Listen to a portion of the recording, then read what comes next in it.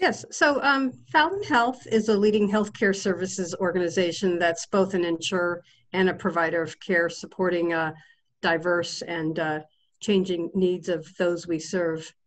Um, we are actually available across all of Massachusetts based on product line. Our greatest presence is in Worcester County, where the organization is based out of.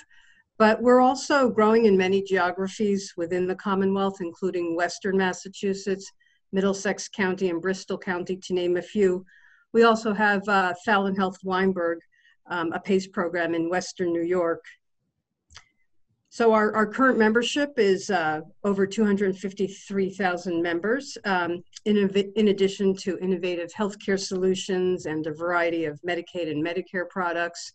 Um, we excel in really creating unique healthcare programs and services that provide coordinated integrated care for seniors and individuals with complex health needs.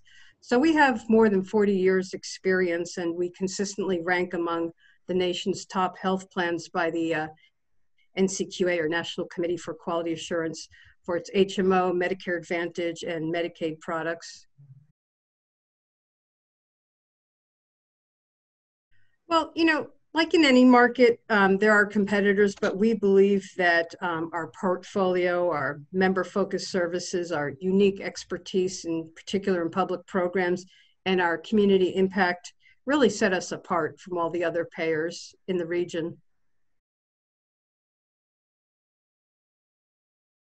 Is Blue Cross uh, Blue Shield of Massachusetts in your markets, and do you compete for market share with with them? Um, you know, we, we both carry a commercial product and a Medicare Advantage product. I would say, though, that the unique advantage that Fallon brings is because we are really in um, just about every product line uh, including PACE, SCO, Medicaid. Um, it really enables us to bring best practices from all of these programs to bear on our um, Medicare Advantage and commercial products in a way that commercial insurers cannot do today.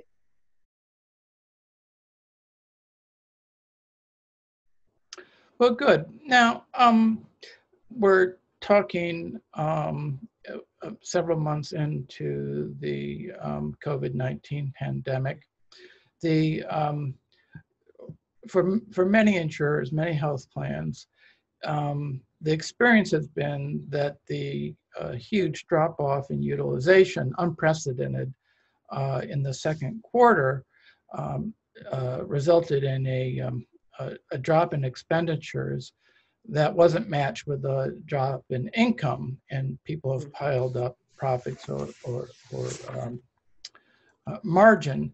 So, has that been your experience um, at at Fallon? And are uh, of course some um, elective surgery has started, some utilization has picked up, but now, of course, we're getting sort of dragged back into the uh, pandemic uh, uh, to, to, to, some extent. So I'm just curious, could you um, describe for us what, what the utilization and, and uh, patterns have been for Fallon and how that's affected your uh, finances?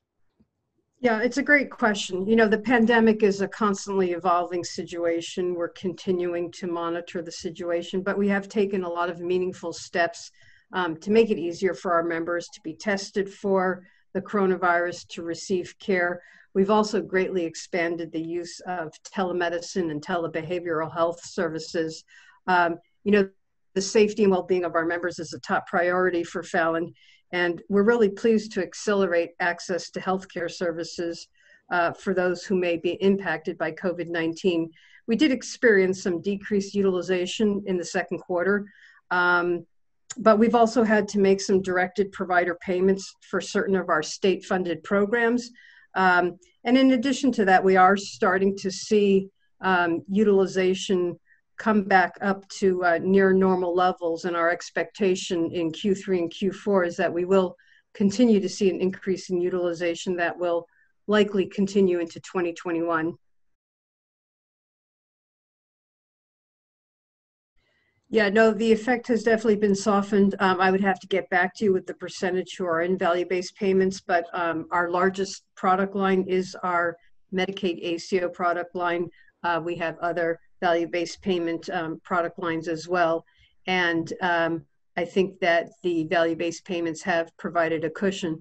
In addition to that, we have um, put in place uh, measures to ensure that we can try to keep providers as whole as possible. So, for example, uh, we had a big push around telehealth, and we do currently reimburse um, at 100% of an in person visit.